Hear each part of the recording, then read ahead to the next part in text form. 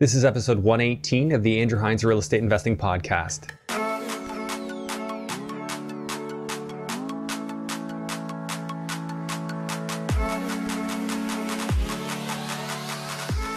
Welcome to episode 118 of the Andrew Hines Real Estate Investing Podcast. Today, I have a slightly different episode for you. I have Arun Mathur on the show. And Arun, rather than many of our investors on this show that are really at the early stages of their investing, Arun is actually winding up his real estate investing career after 30 plus years in the business. So, Arun is a wealth of knowledge. He came in and he talked about the ups and the downs. He survived the downturn in the 90s in the real estate market. And he shares his philosophy about how to be successful successful and how to spot coming changes in the market from his point of view. And I thought it was a really interesting episode. It's something that we haven't done a lot of on this show, albeit we have had some Alberta investors have talked to, to those downturns, but no one that's really talked about hard times in Ontario. And they have happened and they certainly could happen again. So it was a really valuable conversation.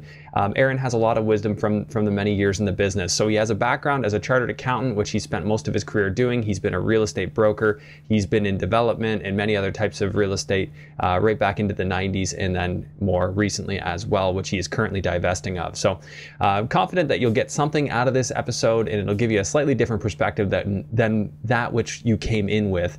And uh, as always, if you're new to real estate investing, I highly recommend going right back to episode one, which are very fundamental episodes in those first 10 uh, to give you a basis and to help you get comfortable with the terminology being used on this show. So if you hear things you don't recognize, that's that's probably the, your best bet to make sure that you're following along. And of course, you can always grab a copy of my cash flow spreadsheet, which is on the website, andrew-hines.com. As always, I'd like to ask you to please rate and review this podcast on Apple Podcasts. If you're watching on YouTube, make sure you hit the like, subscribe, and notification bell so that you'll always get notified every time there's a new episode. And I'd really appreciate it if you'd leave a comment and let me know what you think. Thank you so much for tuning in. Without further ado, here's episode 118 with Arun Mathur. Hello and welcome to the Andrew Hines Real Estate Investing Podcast. I have Arun Mathur on the show today, and he's going to talk to us about his story in real estate. So, Arun, I, uh, I'm going to go ahead and let you tell us what it is that you do in real estate investing and uh, where you're at right now. Okay. Thank you very much, Andrew. So nice to speak with you. Uh, I've seen many of your podcasts, uh, really well done. I wanted to congratulate you for how practical it is. Thank you. Um, so, my real estate journey started uh, rather abruptly and probably negatively. When I was a university student, uh, I had exams and all of that. My father had a house that we had rented. He left the country, he went overseas. So, some of my early experiences actually were very negative, where I was handling tenancies, evictions. I was handling a lot of problems when I was a student. I had exams. We actually ended up selling my dad's property at a loss just because I was leaving town and you know we we had a lot of problems and all that. So that was then way back in the 70s. Um, my my um, adult life basically revolved around becoming a chartered accountant. Uh, I did work for a number of years in uh, EY's Toronto office. And my career path was to build on my chartered accountancy and all of that. So, quite accidentally, I ended up meeting Mac Champsey, who became my mentor. He was a CA from India. He became a, a commercial real estate broker. So through that uh, chance meeting, I ended up actually leaving the accounting career, becoming a commercial real estate broker. We ended up doing some very, very exciting real estate deals. Um, so I was a young person, didn't know anything about real estate at that time. Uh, we ended up uh, doing commercial deals. I ended up doing large scale multi residential deals. Uh, I ended up focusing on land rezoning and land development. We did that for a number of years. And um, then uh, we had 1990. Now, of course, 1990 is a long time ago, but we had a downturn that lasted seven years, right? So 1990 to 1997 and I was into land development, land rezoning. So um, we ended up actually liquidating and more or less getting out over a number of years.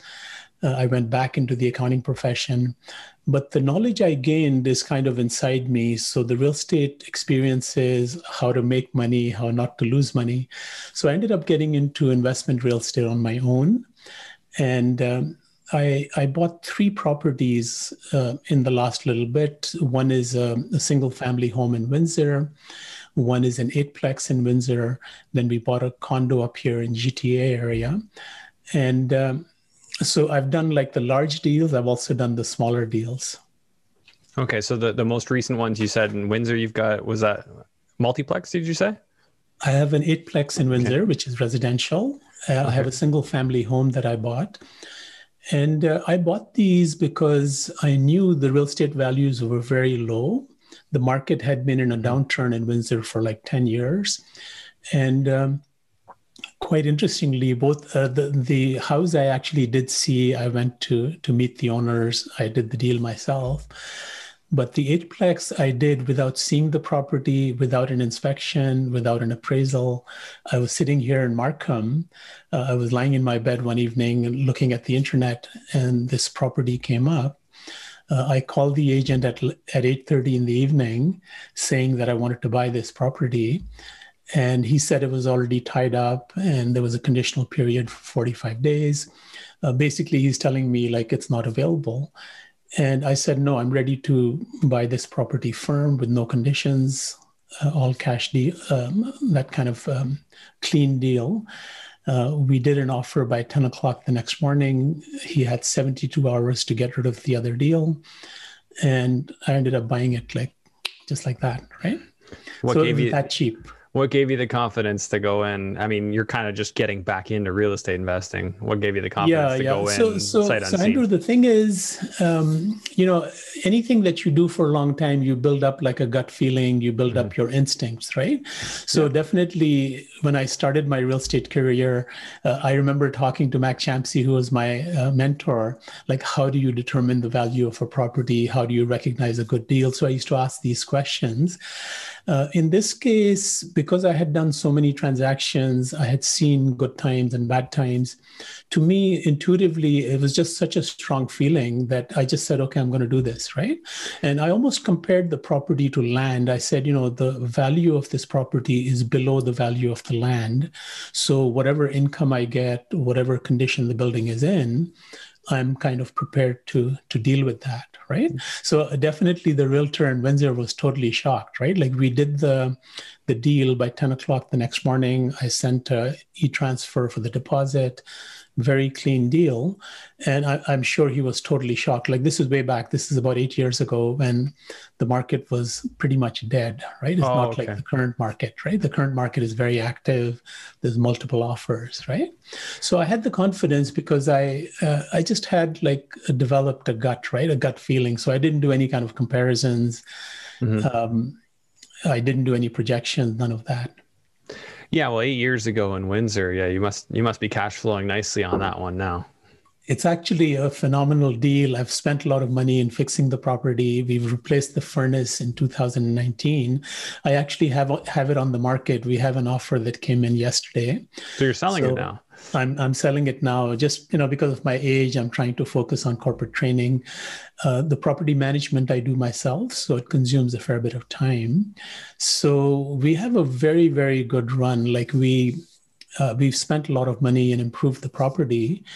Uh, along the way, the market has also mm-hmm. changed, right? So we've decided to to cash in. And what what's the what's the plan now? Because I think you said you have three properties right now, I have including that properties. one. Yeah. Are they all multis? You said you have one single family home, and then you have yeah. The there's one condo, one single family home, yeah. and then this eightplex. Okay. So the two properties in Windsor, I've decided to sell both of them. So the the eightplex, um, the offer came in mm-hmm. over the weekend. We actually signed it back yesterday. So uh, I'm expecting the sale will happen in the summer. Okay. We'll take our gains and you know half half of it is taxable half of it is not. So you get a, a good chunk of cash in your hands right? So that's right. our motivation. Well the key question now is what do you do with that money? So you're a ca so your your your your days are still very obviously busy. Uh, you have lots of work to do. You you don't want to be right. managing your properties. I get that. Um, what do you do with that money now though in the market that we're in with the inflationary environment that we're seeing you know right. how do you how do you protect those dollars Uh, good point. Good point. And this is my whole concern, right? Like we don't want to sell something which will increase in value in the future and then mm-hmm. park it in a GIC or something, which you know yeah. you'll get less than the inflation rate. Right? Absolutely. So it's actually a downward kind of a thing. So to answer your question, I'm actually kind of semi-retired. So I'm focusing on uh, corporate training. I'm focusing on um, speaking in conferences. I'm speaking, uh, uh, I'm working on online courses and, and that side of my life, which is very, very exciting. Mm-hmm. Um, the property management, if it had been, if I could download the property management to a reliable person, probably yeah. I would still continue owning. But we've had some, we've had some really good tenants. We've had some bad tenants. We've done evictions. Um, so, so, when you deal with, um, you know, some of these late night issues and you deal with, let's say, irresponsible tenants, uh, that takes a bit of a toll. It's also an out of town property, so mm-hmm. I'm not mm-hmm. actually physically there. So that makes it a little bit harder for me, right? So our plan yeah. is actually to keep the Markham condo because we live in Markham and we can also see that, you know, we might use that for future retirement. We might actually live there. Um, and that's like an easier thing to manage. We've been very fortunate. Mm-hmm. We have a really good tenant. Uh, so that's part of the equation for me. Uh, so as far as the funds, uh, we probably will pay off our debt. We would uh, probably park the money, and um, um, it's like a consolidation, or it's the idea yeah. of simplifying our lives. That that's kind of our motivation. So you're at that point where you can simplify. Now, what would be? So you're kind of getting towards that that retirement age. So you'll obviously be able to wipe a lot of debt clean with with what you get out of this eightplex. Um, right. maybe maybe all of your debt what will you have kind of in retirement? Like, what, how do you see retirement working for you? So, to be honest with you, Andrew, um, I'm a really uh, workaholic kind of a person. Like, ever since I was young, I've had two jobs and three jobs. And even as we speak right now, like, I'm practicing as a chartered accountant. Uh, I run these three rental properties. Um, I, I have a training company. So, I'm actually doing three different things. Uh, so I enjoy doing the things. Uh, I enjoy the challenge of working. Mm-hmm. Um, so I probably will slow down. I don't see myself retiring completely. Like I don't yeah. see myself, you know, like punching out and saying, "Okay, I'm doing nothing." So my my retirement plan is to continue working on the corporate training, uh, to speak at conferences. Uh, I love gardening. I love playing golf. Um, we have children and grandchildren. And the courses, uh, a little bit for me, are, are, almost like I'm talking to my kids and grandkids. Like right, we're yeah. trying to impart what we learned and share what we learned with others, right? So that's my kind of concept of retirement. What are you What are you training on? Are you training related to being a CA, or are you training on other topics? So our training company basically revolves around business ethics. So we talk about the return on investment from business ethics. We look at how can you improve the governance of corporate entities, not-for-profit entities, even the public sector. Oh, interesting. So those are the two main topics, but we talk about key performance indicators. Uh, I even do a course on public speaking. So this is like a very broad category, but it it rests on ethics and governance and our target market are, are like business owners uh, cpas um, so uh, what I'm trying to do is to uh, explain the benefits of ethical practices and, and, it's the same thing in my real estate course like i believe very strongly that we have to operate ethically and that's how you get the best return that's how you remain in a business long term so For that's sure. that's what excites me and uh, gets me up in the morning yeah, absolutely. And I couldn't agree more. There's a lot of people who try and shortcut things when they're young because they think, oh, well, you know, who's yeah. who's paying attention anyway or you know you got to you got to take advantage of your opportunities. And um, i got to admit like i used to to a little you know to some degree used to think like that. And i don't think like that at all. Like i, I would never have wanted to hurt anybody but right. uh, I really do just think you know act with honor. like, that, like if we don't have our honor, what do we have? Exactly. Yeah. So, you know, one of the things I say in my course is that you know whether you're in business, you're in a profession, whatever we do, like we want our children and grandchildren to look at us, to respect us, and, and yeah. to look up to us, right? So that if you're kind of cutting corners, if you're for sure cheating and ripping people off and all that, that's not going to happen, right? So, yeah. and life is short. Like we should do the right thing. We're here for the long term, yeah. right? Uh, I do Absolutely. see the other side, though. I see people that don't have those values, and it always comes back on them. Comes, right? Yeah. It always comes back. People think they get away with it. You don't get away with that stuff. Right, it comes back right, to you. Karma, yeah. karma will find you.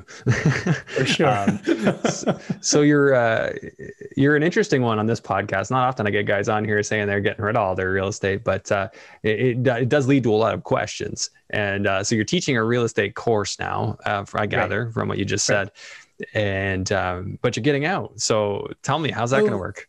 Yeah yeah. So so so you know andrew again it's it's kind of like um, to be honest with you this is the decision we made in the last year and a half or so that we would get out. When i bought the properties my actual plan was to just keep owning them right? Because this is how mm-hmm. investment property is. Yeah. Like over time you pay off your mortgage and your equity bills you can refinance. And this is typically what most people do. So when i was buying my plan was just to buy and hold. Like that's that's what we went into thinking about it. So my only reason for exiting is I'm kind of evaluating the use of my time and saying, you know, I could be working on new courses, uh, I could be working in the professional practice in accounting, I could be uh, managing my real estate, right? So. Mm-hmm. Uh, and again, I think it's partially because it's an out of town properties and, you know, it's harder to handle that kind of thing. Yeah. And, um, um, so, so, I'm kind of saying, okay, I've come to this level. I'll get a certain price. I'll take my gains. Let the, let the next person take their gains over the sure. next 10 years, that kind of thing. Uh, probably, if my kids were interested, that's another kind of angle. If if any of my kids were interested in managing and handling and all of that, maybe I would have thought differently. But they're all busy sure. in their own careers. They're doing their own thing, right? So. Yeah um, that's another. Uh, okay. I also see. I mean, it, it's. I don't want to be morbid, but I do see people that hang on to their properties. Like I see people at very late stage of lives, and this is kind of. Um, to me, I don't want to be like that. I want to be mm-hmm. a little bit detached, right? Well, so you definitely need to delegate, right? If you're yeah. self-managing yeah. in Windsor, and I'm self-managing stuff in London, and I'm in Florida right now, but if you're self-managing from far away, Which you got to have a team. Florida are you in, Andrew? Where, where in uh, Florida? Uh, Southwest Florida, like Naples. Oh, okay, okay. Yeah. Yeah. A little warmer down here and a lot lot sunnier generally. For but, sure. Uh, when are you and a lot more town? open. when are you back in town from Naples? I'm not sure. Yeah, we're we're playing You're it flexible. You can Yeah, we're anywhere. just playing it by ear. Yeah. yeah. yeah. Um, all my work is remote anyway, so I'm very right. for, fortunate that way. Um, but uh, losing my train of thought a little bit here, but yeah, you know, because I can I can work remotely, and and this is this is my point is that that you got to have a team and i'm assuming you do you must sure. on, on, the ground in windsor because you, you yeah. don't manage from four hours away uh, without a team even right. if you are self-managing so i think a lot of people get that mixed up in their head they think self-managed means i get the call in the middle of the night but you don't need to do that at all like right, if you right. if you have the proper emails and you have the proper notifications to your tenants like you you can literally just give them a call like a call list if this happens call this person if this happens exactly. call this person exactly. I, I, would still get my tenants call me sometimes but i literally just text them back what's up right plumbing's right. overflowing here's yeah. the plumber's number or just exactly. call the plumber you have the number for sure um, so and that's know, exactly how it should like be right? so yeah. this is like a win-win right if you can arrange yeah. that i actually I had started my my thing with that type of uh, setup, but my main property manager actually retired and said, you know, yeah. he was not interested. He had grandkids. He so that's part of the reason now. Take care of them and all that, right? Yeah. So I have a I have a different person helping me, but his role is very limited. Like he does just bare bones kind of work. Mm-hmm. So when it when it comes to these kinds of things, like you know, middle of the night issues and yeah. um, sudden issues that come up, I'm kind of entangled yeah. in that, and it's a little bit stressful for me because you know, if I was younger, I probably would, would roll yeah. with the punches. But, you know, it's interesting you mentioned Naples because in my training company, that's exactly my vision is to travel the entire globe mm-hmm. and do my deliveries and do my, actually my daughter works, uh, two of my daughters work with me in my training company full time. So we were in Panama a couple of years ago um, for like an anniversary, like a celebration kind of thing. And I was actually inside the swimming pool of the hotel. She was sitting in one of the cabana chairs and we were talking about a course. So I said to her, somebody needs to take a picture because this is exactly what work should be, right? You should be able yeah. to sit in a pool and and do your work. So that's like what you're doing is exactly my vision, but for the training company. Yeah, that makes a lot of sense. And I think, yeah, you know, it, it's a life by design, right? Like that doesn't happen by accident. Uh, I think exactly. I say, I, I, say no to a lot of things so that I can work sure. this way. Yeah. And uh, that's something I've had to glean because I've been I've been self-employed, you know, most of the time since I graduated university in 2008. So oh, that's fantastic. It's, it's been a little while. Um, so yeah, I've had to learn, right? I mean, initially I said yes to everything, and then I, you know, I got right. very uh, unhappy in in life. You know, I, I, was doing too much and you know feeling stressed and all that. So you don't want any of that, right? Interesting you say that, Andrew, because when I was a com- full time commercial realtor and I was much younger then, um, we used to work like I used to work like through the entire evening, right? Mm-hmm. So even though we did commercial real estate, like you would think residential, the deals are done in the yeah. evening and all that. But with commercial real estate, uh, there are times when I worked like through the entire evening. I would drive home like 11:30 at night every night, right? Because this is like an active project. You have work going on, all of that. So one thing I realized looking back and reflecting on all of that, like we have to kind of contain our appetites, right? Like mm-hmm. sometimes you want to do every deal, sometimes you want to do whatever comes in front of you. And as you know, like once you get into the business, people will bring deals to you, right? Yeah. So, in a way, it's smarter to be selective and uh, to do what you can manage versus spreading out and doing too much, right? Like doing six or eight active deals at one time. It really takes a toll, right? To Yeah, that. active deals are tough. I, I, I really burnt out for a while there. I was doing like multiple student rental construction projects, building, you know, additions every two months on different properties and and then building like 27 townhouses on top of that and i'm like okay i'm doing i'm doing wow. a little too much and i i, I had to like scale that back because it just became like consuming just yeah. everything I was doing, constantly getting phone calls from 7 a.m. into the evening. And no, no, not that that's that bad, but I mean, some people are like, oh, boohoo. But, uh, you know, for me, it's, it's about what I think about, you know, how much of my mind space does it, does it consume? That's the real right. thing you got to protect, right? Because if you're, if you're constantly in transactional, how do you ever think vision for the rest of your life, vision for the big stuff?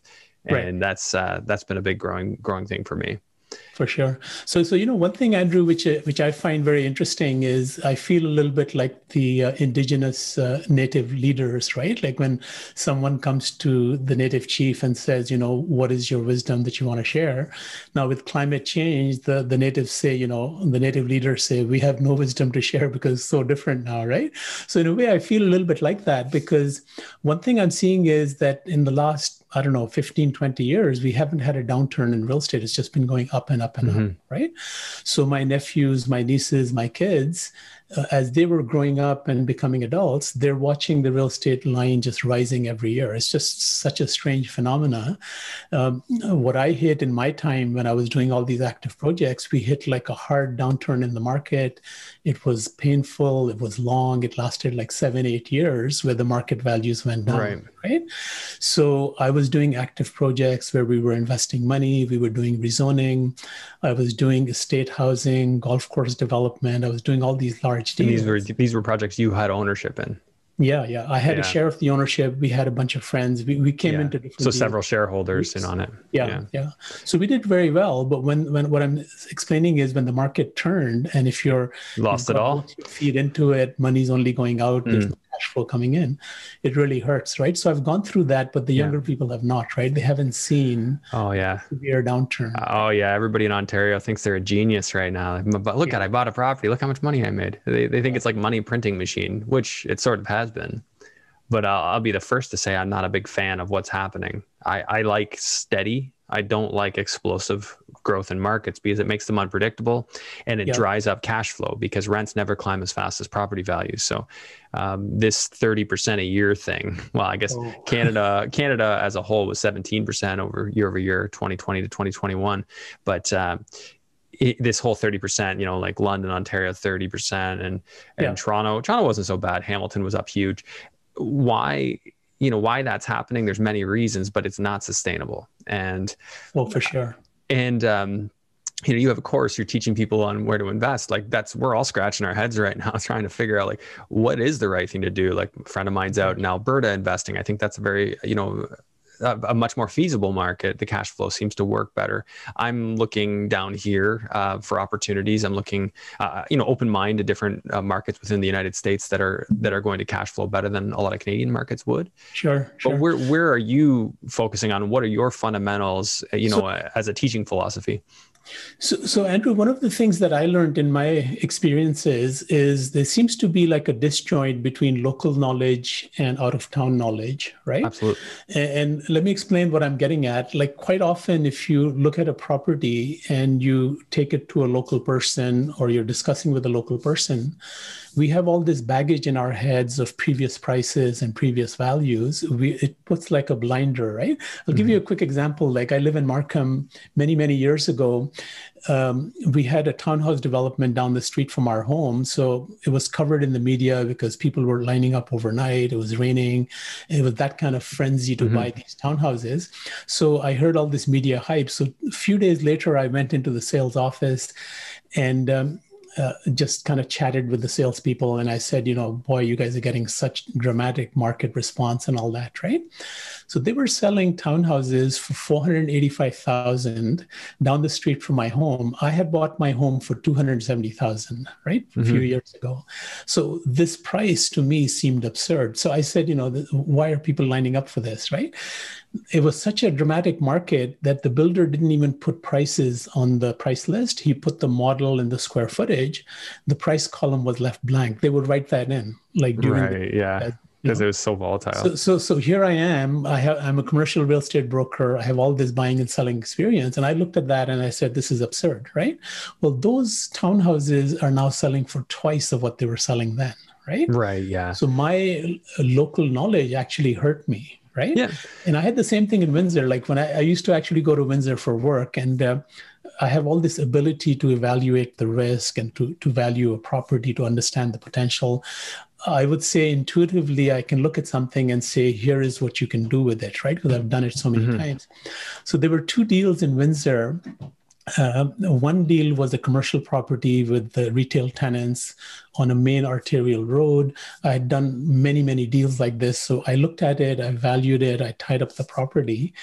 And um, I took it to three of our clients and said, you know, here's a very good real estate deal. You know, you'll make out like a bandit. Uh, why don't three of you friends join in and take one third each? And I was just being like a broker kind of role, right? Sure. So two of the guys were very excited. They were business people. The third one was a physician. So he sent his accountant to the meeting. He didn't attend himself. He was too busy the accountant didn't really understand risk and risk evaluation, right? So when I did my cash flow projection, when I explained why I like the property, this accountant got stuck on the mortgage rate because I gave him the current mortgage rate for five years, right? That's how you do a deal, right? Right. He said to me, What will the mortgage rate be in year six? And I said, I don't know. The bank doesn't know. Nobody right, knows, yeah. right? Because nobody knows. It's an unknown, right? So he was stuck on that. Long and short of it is, so because this main partner didn't come in, the other two guys didn't come in, then another one of their friends walked by my office and said, I understand you have a deal. This guy was very sharp. So he took 100%. He took the whole deal and, and uh, bought the whole thing. In five months, the adjoining property owner took 20% of our land and paid us almost 100% of the value right of what oh we paid. wow of what, what so this became like an yeah. infinite rate of return yeah yeah right? so what i'm saying like sometimes this out of town knowledge helps sometimes the lo- local knowledge mm-hmm. helps now what happened with the same physician i found another property which happened to be land and I, I, took it to him and he said to me you know my accountant will get back i said no i don't want to talk to your accountant i want you to look at this right so um, he came back to me and he said, You know, you're from out of town. This is the rough end of the city. You don't really know the city like we know the city and whatever, right? So we dropped the deal because he would have been like a main partner because we would do like five or six people. I'm not exaggerating, Andrew. We dropped this deal after doing our due diligence and tying it up for like 45 so you had days. it tied up and you released it I released it. The day yeah. I released it, the adjoining property owner bought this chunk of land for five hundred thousand dollars higher than our deal. Than you were going to pay, yeah. So, so you know, sometimes you the knowledge it, yeah. helps. Sometimes the local knowledge helps. So I think, and yeah. you know, when you mentioned the U.S. is exactly the same thing. In our real estate office, uh, when I was doing the the land development and all that, our folks went out to Texas. They went to Florida. They went to different places.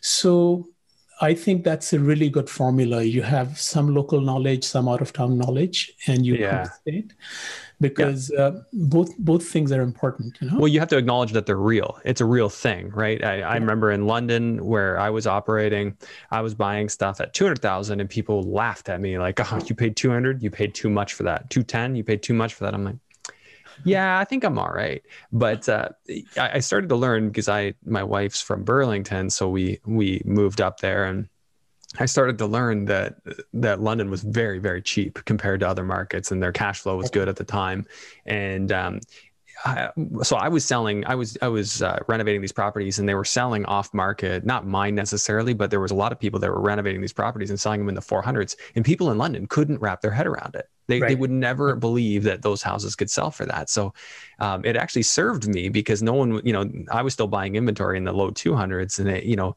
getting right. valuations 430 to 530.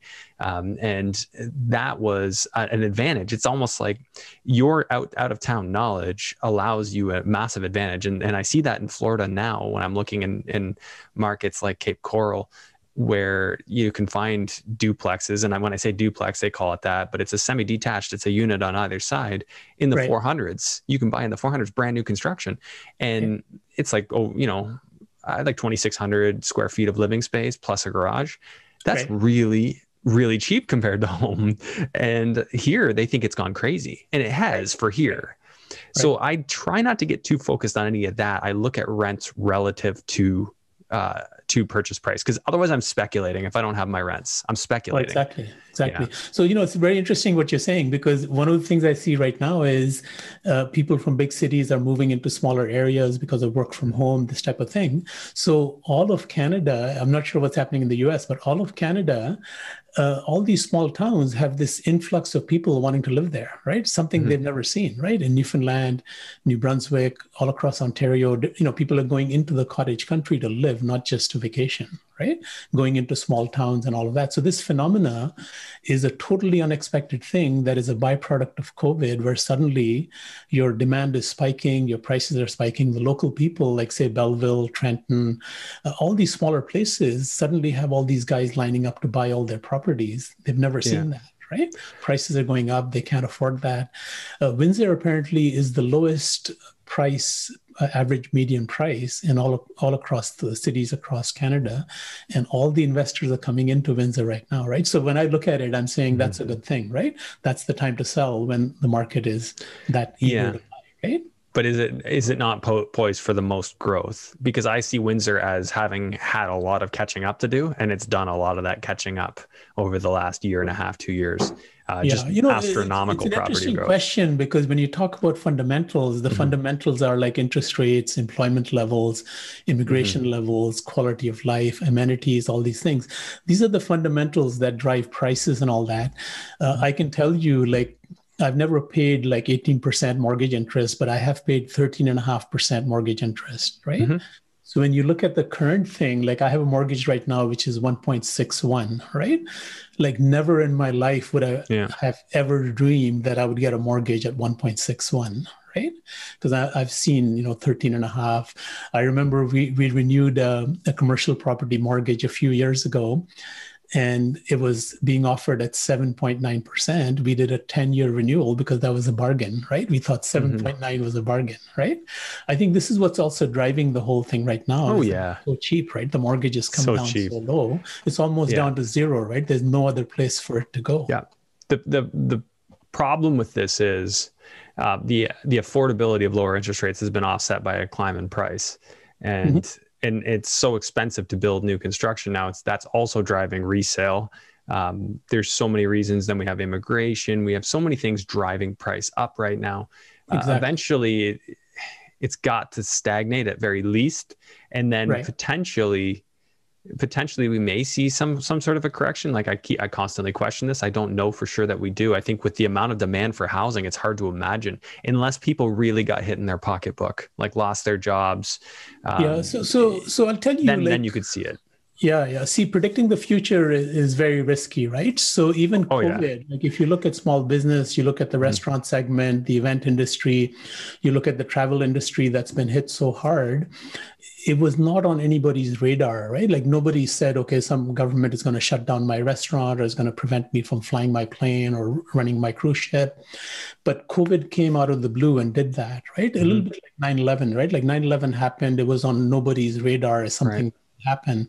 So when we look at what will make a market turn downwards or what will make a market go in the opposite direction, uh, people will say that nothing will, right? But I'm saying there are these external things that happen suddenly, right? Yeah. So um, uh, I, w- I would I would say that you know um, uh, l- let me tell you what I think. Okay, what I think is Love we shouldn't try to predict mm-hmm. because it's impossible to predict, right? Mm-hmm. As, again, as I'm saying, like we thought 7.9 percent was a bargain, we fixed it for 10 years, but now you know we look at it and say, oh my God, we should not have done that, right? So you can't predict, right? Absolutely. What I would focus on with real estate, whether you're you know my age or younger or whatever, is to look at how can you increase the value of the real estate estate, right? That's the approach I take.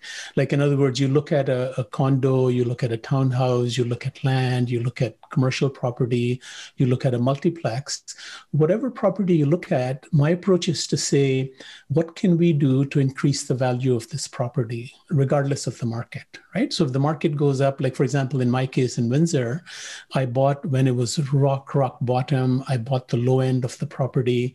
So I couldn't see it going any further down, right? Yeah. So that's kind of timing helped me, and I'm happy about that. But more important than that, I looked at the property and said, how can I improve this property? What can I do? Right. So you look at insulation, you look at roofing, you look at improvements, you look at renovation, changing the fixtures, making it a better uh, mm-hmm. making it better for the tenant, right? So if you can make it better for the tenant, you can increase the rent, you reduce your expenses, that kind of thing. So yep. that's always my approach: is how do you increase the value of property, and what can you do? So it's not uh, trying to luck into something. You know, if your timing is right, just like the stock market, if everything is going up, your property yeah. will go up as well, right? Absolutely. But if you can put that extra effort to improve the value, then you're mitigating your risk, right? So even if the market is not that great, you can still yeah. walk through it, walk through a bad market, right? But Aaron, what do you say to people today? Because I mean, most of my guests and listeners are on board with improving real estate, uh, yeah. but there, there you have people that are buying and and doing a full BRRRR. You know, when you you add the value and then refinance at the end, and they're probably best case break even cash flow, maybe a touch negative when you actually factor in all the capital expenditures of of improvements down the road. Right. Is that in your mind a good strategy?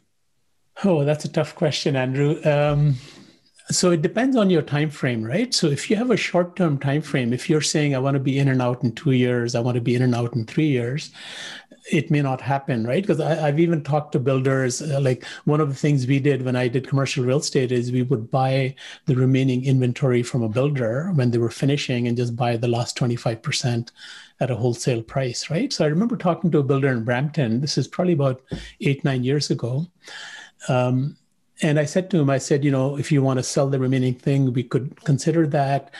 Um, so it's like a way to mitigate your risk, right? From the builder's point of view, you take like a discounted price and you sure. get out, right? Absolutely. Now, luckily, the market has just been going up and up and up. So I would say, um, again, if you have cash flow, if you can hang in there, even if there's a downturn, it's going to dip down yeah. and come back, right? So in my major downturn that I faced, it was seven years. So, you know, when we were dealing with land development, we were putting money into it.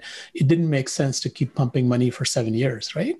But um, I suppose if there is a downturn, if you have sufficient ability to hang in there, in other words, you don't have to liquidate, then what I'm saying is your returns will be delayed, right? So instead of getting your profit in year two, you might get it in year yeah. five or year six, right? Now, if you own raw 20. land, which is what I did, right, then you don't have that option, right? Because yeah. nobody wants your land. You have to get out and you walk. Yeah, away. you don't want to get get stuck mid. You you can. Yeah. It gets tough when you're into a situation where you're in private money and you've maybe you've borrowed and you're almost at that point. And if the market drops right then, then you're kind of caught uh, what the, what's the expression where you're swimming naked? Everyone will know when the tide goes out. oh, exactly, exactly. yeah. So, so, I think I think there are two things here. So one thing is your appetite, right? If you have yeah. too many properties, that's going to come back to haunt you, right? Because you won't be able to handle well, it. too many properties like that, right? Yeah. Like and if you have cash flow, debt. then you won't you won't. Yeah, exactly. So the too much debt part is the big thing. Exactly. If so, you, know, have enough cash flow, you don't mind riding it out. Exactly. So if you have property where you can handle the debt or there isn't too much debt and things go bad, you can kind of hang in there and say, okay, this is a mm-hmm. rough period. We're going to walk through it. It might be two or three years, maybe four years, and so on. And, and definitely, like, you know, the interest rates is a big deal, employment levels are a big deal uh, you know, just like the stock market, the real estate market has its downturns, but it goes back up, right? So long term, mm-hmm. it's going to go back up. It's the yeah. the question is, do you have the ability to hang in there? Yes, right. Staying so it's power. like margining, right? Mm-hmm. If you buy stocks and you buy them all on debt, and yeah. the stock goes down in value, then you're in trouble, right? Right. Uh, so so maintain your equity position don't get too greedy uh, and, and, the other thing i always say in terms of investments is work out your worst case scenario right yes. so work out what happens if nobody wants to buy your property what happens if yeah. you know your cash flow goes down um, you know it's interesting like as i'm saying the last 15 17 years we've had a rising market rents have been going up interest rates have been coming down. It's a phenomenal period for everybody right? If you bought mm. five condos or 10 condos yeah. laughing right? You're doing phenomenal right? especially if you're in like just regular family rentals. Yeah. So just yeah. you need a little bit of caution again because yeah I've actually seen three downturns in my life so far, so we know what that's all about. It makes you it makes you wise. Yeah, I mean, uh, yeah. Uh, not a lot of people have lost in real estate, but the ones who do have a special ability to to make decisions that are going to prevent them from losing again. And uh, you know, I'm one of those guys who's who've lost. I haven't been in the Ontario market in a downturn, but I've I've invested in the U.S. in the past and and lost sure. money, so I know what that's yeah. like. I've interviewed people from Alberta; they know what that's like. Uh, so it, it's great getting that perspective on this show.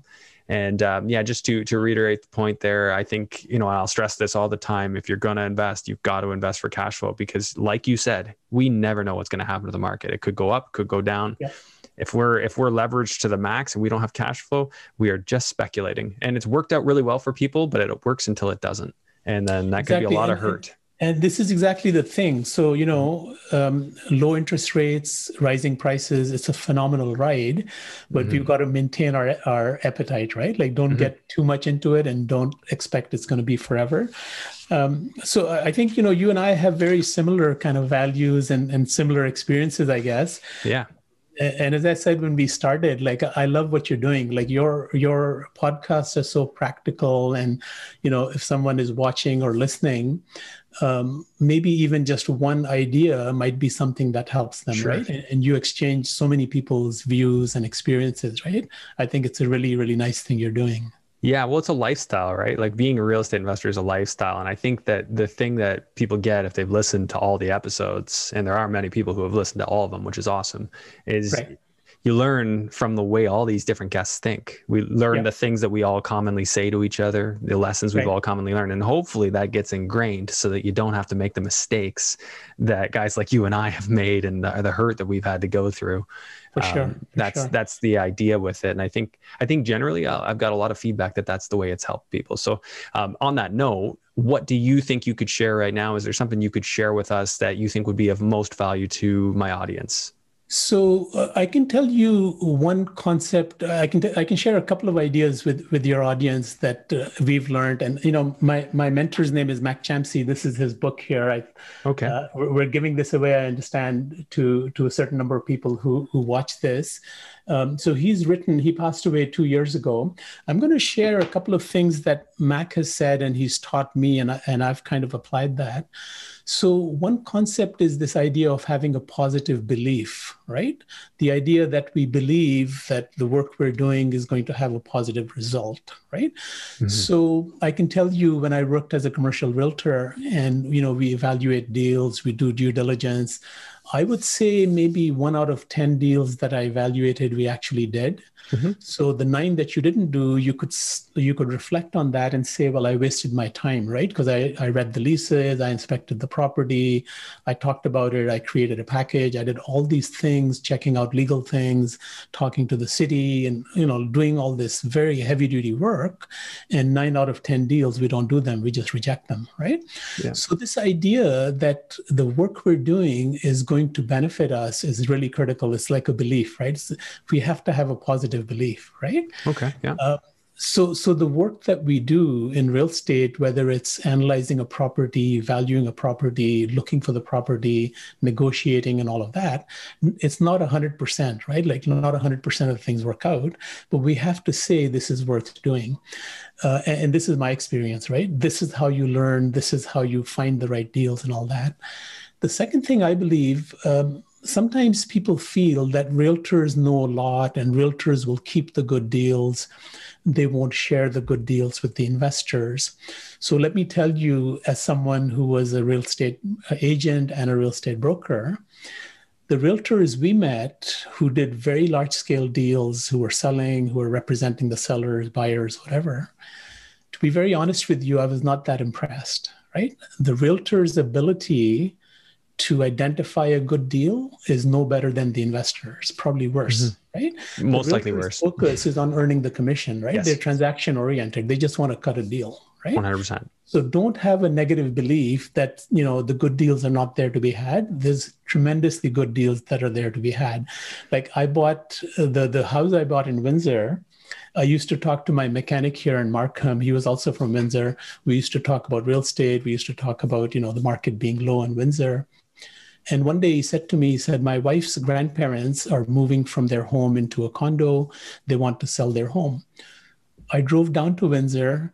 I gave them their asking price. I did the deal by hand and gave them 100% of what they wanted no terms, no conditions, no financing, all cash deal. Um, because this deal was there to be had, right? Now, the realtors would know, but the realtors wouldn't have that same belief, right? So, having a positive yeah. belief, I think, is important. Uh, all the work we do, we learn from that, right? So, don't be afraid of working, right? That's that's yeah. how you're going to learn. Um, I think one of the other things that uh, Mac instilled in my in my brain was um, there's no perfect deal, right? So, someone looking for a perfect deal, like a hundred percent, is never going to find it, right? So there are many deals that when you do your due diligence, you check things out, you say, okay, it's substantially good, but it's not 100%, right? So Mac's rule of thumb was 90%. If you were 90% satisfied, go ahead and do the deal because otherwise you're looking for perfection. It's like the unicorn, right? It's not there, Right? It's the enemy of good. Perfection is yeah, the enemy yeah. of good. Yeah. Yeah. So we, we say, you know, do your due diligence, do your work thoroughly, you know work out your scenarios work out your budget and your numbers make sure you can handle like a worst case scenario but don't keep rejecting the deals. And there are people like that right? Like accountants lawyers engineers are trained in technical things. So they have like a black and white kind of view like this is good this is bad but life is not like that right there's a yeah. lot of gray area there's a lot of risk there's a lot of guts required to, to make a decision and the technical people like the lawyers accountants and engineers nobody has taught them about risk evaluation they yeah. really don't know right? It's the entrepreneurs mm-hmm. who know how to take risk and, and even how to lose. Well, and there's a qualitative element to that, right? It's not yeah. a, it's not a quantitative only thing. Risk analysis is a lot about knowing say, yourself, right? Yeah, exactly. Yeah. The other thing I would say is don't be afraid of failure. Like I mm-hmm. think we learn from failure. So someone who is averse to failure, who says I don't want to fail, you're limiting your potential, you're limiting your life experiences uh, I would say fail often, fail early, fail yeah. when you're young, because that's what how you're going to learn, and that's how you'll get yeah. into a, a, better thing.